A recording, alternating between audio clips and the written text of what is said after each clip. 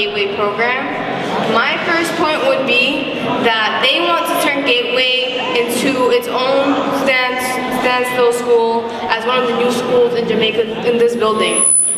I want to point out that our Gateway program, it's great as it is, and we don't want to become our own school. We want to stay in Jamaica.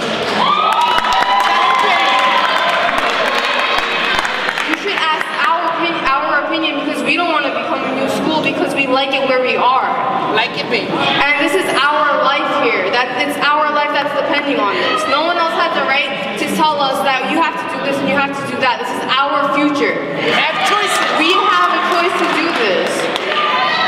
And my second point is that who's responsible for everything that's going on? Our so-called mayor, Mr. Bloomberg.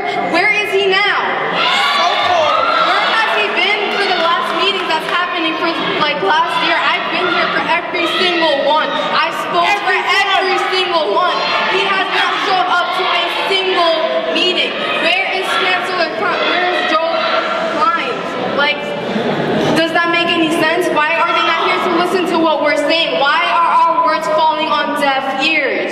If you're really standing up for what you believe in and you can't see what's going on, I'm asking you to open your eyes and see the people who are standing up for Jamaica High School. I'm asking you to open your ears and don't turn deaf on us when we're speaking our hearts out because this is our life and this is our future that's depending on this. Let us be heard. And about resources, man, resources.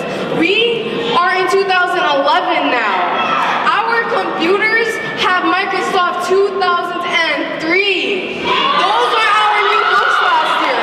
Microsoft 2003. Our AP classes, my AP bio class, we don't have enough money for our labs. We don't, we're using a broken overhead projector and we, we and what are we supposed to do? We're, we're supposed to score fives in our? Really? Does that make any sense? We have to reuse our Scantrons. Really?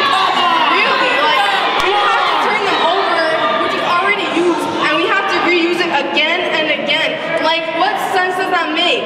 What sense? We have to pay for the paper that we use. Oh, Really? Like, Out of does that pocket, make any baby. sense? And It's out of our, pocket. our charter schools, our fellow charter schools that are over here, I don't think this is gonna solve anything because I've come from a charter school before. Before I've come to Jamaica, I've seen that it has caused problems between the students.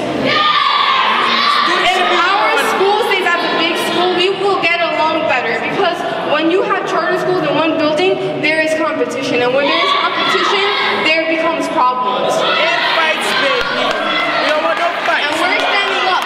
For the past how long that you've been trying to shut us down, we have put up a fight, and as long as you try to put up a fight with us, we will fight right back. To the last second, we're not gonna bow out gracefully. We're gonna put up a fight to the last second that it takes. Who's fighting? And we're gonna do Ours. whatever it takes Whatever. to stand for to stand up for what we believe in.